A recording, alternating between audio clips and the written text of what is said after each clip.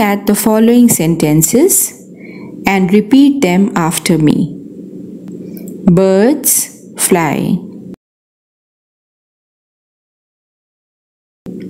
My mother is a teacher.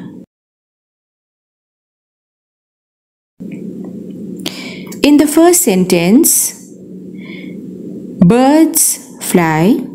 What are we speaking about? We are speaking about birds. So, birds is the subject in this sentence.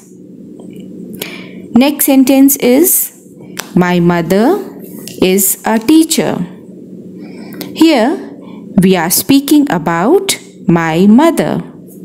So in this sentence, my mother is the subject. So what is the subject? Please repeat after me. The part of a sentence which names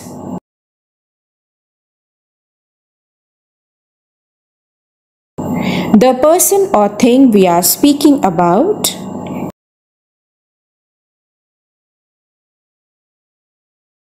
is called the subject of the sentence.